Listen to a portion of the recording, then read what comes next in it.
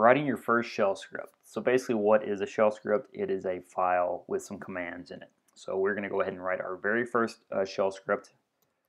We're going to open a file with some editor. We're going to put a file name. We're going to call it hw.sh. hw for hello world because anytime you learn a new programming language, the first script you write is hello world. And we're going to do a couple things. First, we're just going to write the script in the most simple uh, form possible. And so we're to type echo and then hello world inside double quotes. So we, uh, we now have a file called hello world that has a command in it. So it's a shell script. Um, but then we need to execute our shell script. So normally we uh, run commands. We just type, you know, the command we want to run. So if we want to run ls, we just type ls, right? Well, for scripting, it's a little different, right? If we type the name of the uh, command, it says command not found. And we're not going to talk about why that is right now, but I'll tell you uh, it's because your path variable uh, doesn't have this directory in it, but we'll talk about that later. So the way we want to run commands uh, from our current directory is we want to put dot slash in front of it. So this is how we'll run our scripts in this class most of the time, dot slash hw.sh. So we'll try that.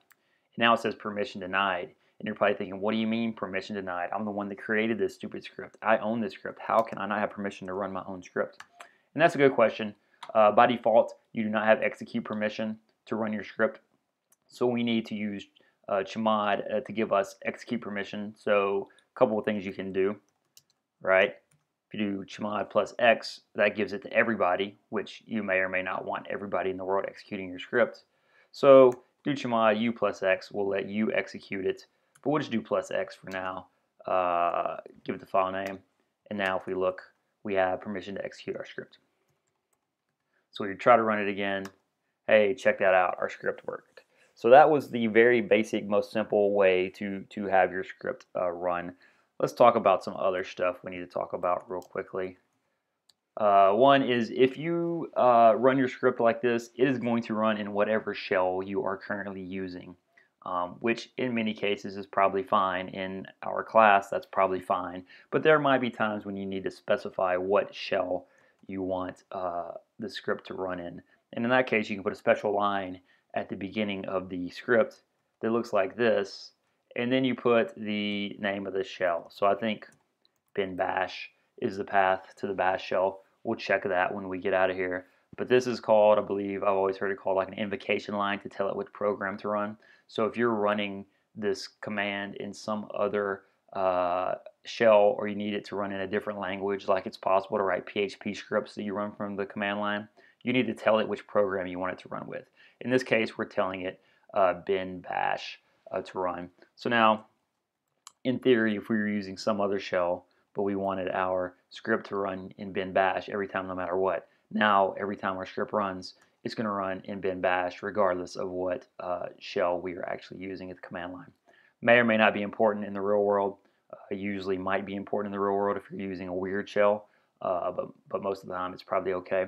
The only other thing we're going to do right now is comments. Comments are important in scripts so that you know what the script is doing and uh, who who uh, wrote the script. So in shell, a pound sign is a comment, so you can put uh, your, your, comments in here. Some things we want to have uh, in our comments usually.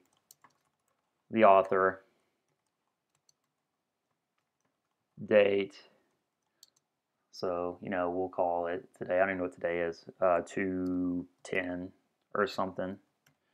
Um, and then maybe a uh, purpose of the script. Uh, my first script to print hello world. Um, so uh, for our class, we're going to put stuff like this in our scripts at the beginning uh, so we get used to doing that. Some other things you might want to put, you might have version control. So every time you make an update, this is like version zero.